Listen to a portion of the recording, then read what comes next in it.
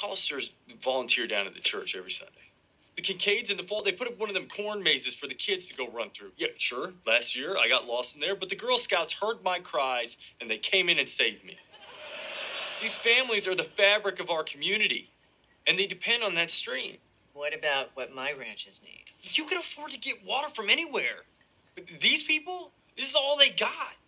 Look, if you want to buy my ranch, you can't put up the dam. It's the only way I'm signing. Sign, don't sign.